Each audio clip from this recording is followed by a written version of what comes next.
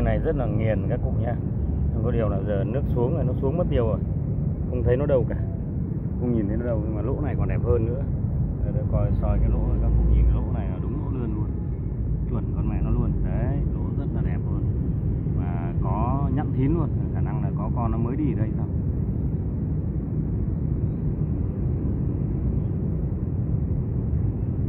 Cắn rồi cắn rồi cắn rồi. Nó cắn rồi các cụ ạ. Cắn rồi, lôi rồi lôi rồi nhá, lôi rồi nhá. Lôi phải để nó nuốt không biết con này to hay nhỏ. Lôi rồi lôi rồi. Lôi rồi xảy rồi. Không được các cụ ạ, con này khả năng nhỏ. Khả năng nhỏ. Đấy, lại cắn rồi. Lại lôi rồi. Lôi thẳng cổ luôn, lôi đi.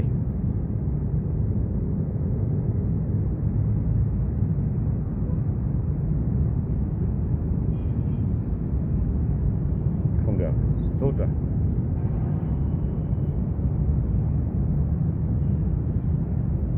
ui ăn mà không dính các cụ ạ. Con này chắc nhỏ lắm. Khả năng là con nhỏ thôi. Lỗ to nhưng mà con lươn rất là nhỏ nhá. Đó ăn nữa rồi ăn. Cắn vần phật nhưng mà không dính đâu. Khả năng là con này không to.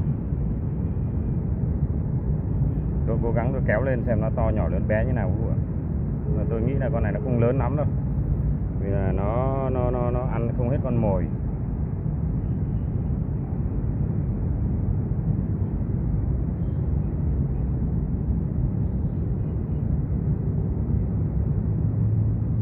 Đây rồi đây rồi. Ui rồi cũng to đây các cụ ạ cũng to đấy. Đây đây cụ thể nha các cụ nha rất là nhanh gọn nha nhanh gọn lẹ nha. Đây cũng to đấy lỗ đẹp nhá. Đây rất là cụ thể các cụ ạ. Đây rất là cụ thể sông Sài Gòn nhá con lươn vàng ươm nhá. Đây sông đây. Đấy tôi báo cáo các cụ nhá. Clip này của tôi có 2 phút rồi, đây con lươn đã nuốt rồi. Và không có cách nào nó chạy được. Báo cáo các cụ con này để tôi dê lại dần nữa. Các, các cụ coi cầm cầm cầm hộ anh con lươn cái. Đây, cầm cầm cầm hộ anh cái. Cầm anh cái. Đó đúng rồi đây. Đây. Báo các cụ. Má nó khỏe quá. Luôn không? bung làm sao được. Con này chừng khoảng độ 3 lạng rưỡi 4 lạng các cụ nhá. Đây đây. Đó rồi xong đã tóm được chính xác nó rồi nhá. Báo các cụ xong. Rồi cảm ơn